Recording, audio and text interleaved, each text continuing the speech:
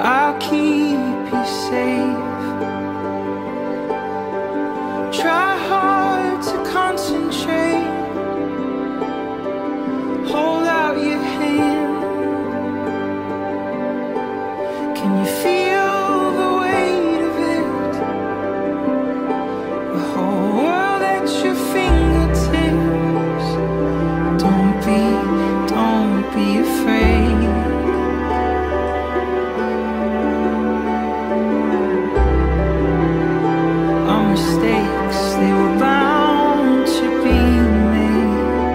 but I promise you I'll keep.